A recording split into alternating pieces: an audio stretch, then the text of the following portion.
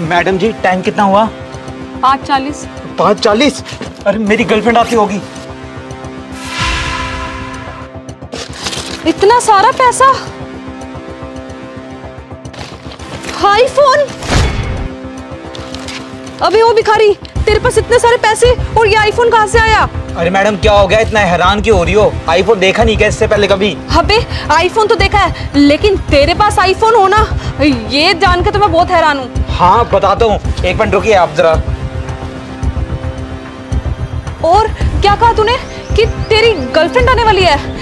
भिखारी की भी कोई गर्लफ्रेंड हो सकती है क्या?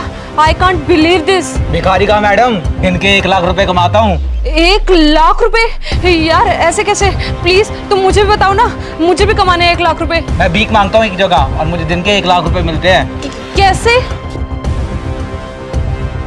बाकी के तुम रख लो।